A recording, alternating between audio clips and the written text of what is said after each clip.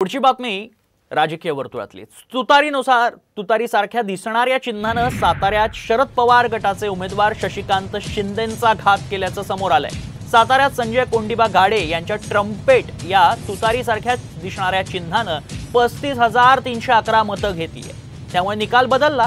सातारा लोकसभा मतदारसंघात राष्ट्रवादी काँग्रेस शरद पवार गटाचे उमेदवार शशिकांत शिंदेंचा बत्तीस हजार सातशे एकाहत्तर मतांनी पराभव झालाय. तुतारीसारखं चिन्ह नसतं तर कदाचित साताऱ्याचा निकाल वेगळा असता अशी चर्चा आता राजकीय वर्तुळात रंगती आहे. दुसरीकडे बीडमध्ये अशाच प्रकारे ट्रम्पेट चिन्ह असलेल्या अशोक थोरात नावाच्या उमेदवाराला चोपन्न हजार मतं मिळाली आहेत. संजय गाडे म्हणून अपक्ष उमेदवार होता त्याचं चिन्ह जे होतं त्याच्यामध्ये साम्यता आल्या अशा प्रकारची थोडीशी संभ्रमावस्था झाल्यामुळे ती मिळालेली मतं त्यांना ती सदतीस हजारच्या दरम्यान मिळालेली मतं यातली काही प्रमाणात सोडली तर बहुतेक मतं ही तुतारीची मिळाली अशा प्रकारची चर्चा.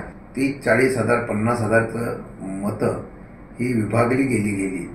आणि त्याचा मताधिक्य मिळवण्यासाठी परिणाम झाला.